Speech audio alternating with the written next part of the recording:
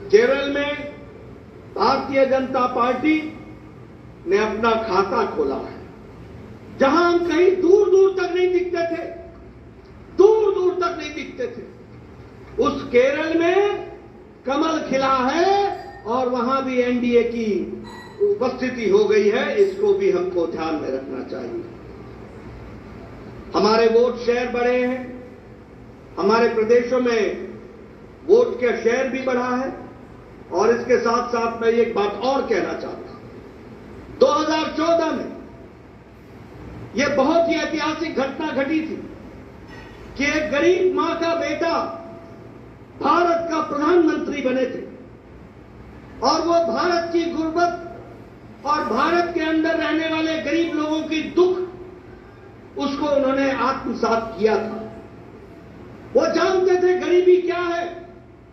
वो जानते थे कि गरीबों का नेतृत्व करने की क्या आवश्यकता है। वह जानते थे कि देश को किस तरीके से आगे बढ़ाना है। और मुझे याद है कि 2014 में जब एनडीए की सरकार बनी तो आपने उस समय कहा था, मेरी सरकार गाँव को गरीब को वंचित को पीड़ित को शोषित को दलित को महिला को युवा को किसान को समर्पित रहेगी और उनके विकास के लिए हम काम करेंगे।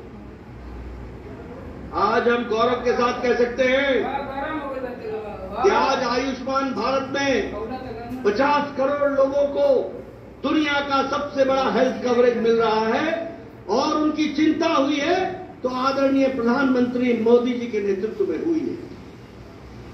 और आगे थ्री ज़ीरो में इस देश का कोई भी नागरिक जो सत्तर साल से ऊपर का होगा उसको भी आयुष्मान भारत का, का कार्यक्रम से जोड़ा जाएगा इस बात को हमको ध्यान उसी तरीके से चाहे बहनों को गैस का चूल्हा पहुंचाना हो गैस का सिलेंडर पहुंचाना हो हर घर नल हर घर जल इसकी व्यवस्था करनी हो हमारे भाइयों को बहनों को बैंक से जोड़ना हो ये सारे काम प्रधानमंत्री मोदी जी के नेतृत्व में हुई और गरीब की चिंता की गई, गरीब की चिंता की गई। मैं यहाँ ये भी कहना चाहूँगा कि जब प्रधानमंत्री जी ने 2014 में भागदौड़ संभाली थी तो भारत की अर्थव्यवस्था लड़खड़ा रही।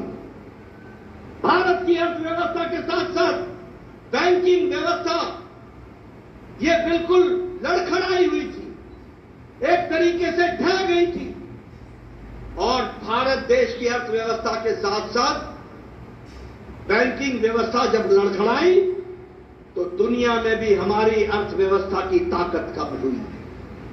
लेकिन प्रधानमंत्री मोदी जी के नेतृत्व में बैंकिंग व्यवस्था को मजबूती दी गई, अर्थव्यवस्था को मजबूती दी गई, और बैंकिंग व्यवस्था के बारे में दुनिया ने भी सराहा कि आज भारत एक मज़बूत बैंकिंग सिस्टम के साथ खड़ा है। और सबसे बड़ी बात यह है कि 2014 में हम ग्यारहवें नंबर की अर्थव्यवस्था थे ग्यारहवें नंबर की, आज हम मोदी जी के नेतृत्व में सुदृढ़ तरीके से पाँचवें नंबर की अर्थव्यवस्था है। और मोदी थ्री ज़ीरो में तीसरी बार प्रधानमंत्री बन रहे हैं। भारत की अर्थव्यवस्था तीसरे नंबर की होने जा रही है, इसको भी हमको ध्यान रखना प्रधानमंत्री मोदी जी के नेतृत्व में गाँव को मजबूती मिली, गरीबों को ताकत मिली, दलितों को सम्मान मिला, युवाओं की आशाएँ और आकांक्षाओं को पूरा किया, महिलाओं को सम्मान दिया और किसानों को मुख्य धारा में लाने का काम किया और वंचित पीड़ित लोगों को विश्वास के साथ आगे बढ़ाने का काम किया। ये दस साल का परिवर्तन हम सब लोगों को देखने को मिला है। मैं यहाँ यह भी कहना चाहता हूँ कि विकल्प विपक्ष नकारात्मक सोच नेगेटिव सोच के साथ काम करता रहा। कोई भी सकारात्मक दस साल में कोई भी सकारात्मक योगदान विपक्ष का नहीं रहा। और मैं तो यह भी कहूँगा कि अभी भी उनको गुमान है, अभिमान है।